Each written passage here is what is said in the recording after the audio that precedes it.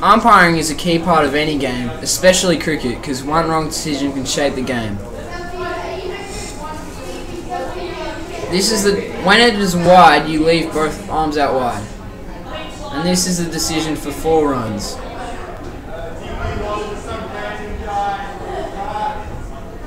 When it is six runs, you put both arms up in the sky.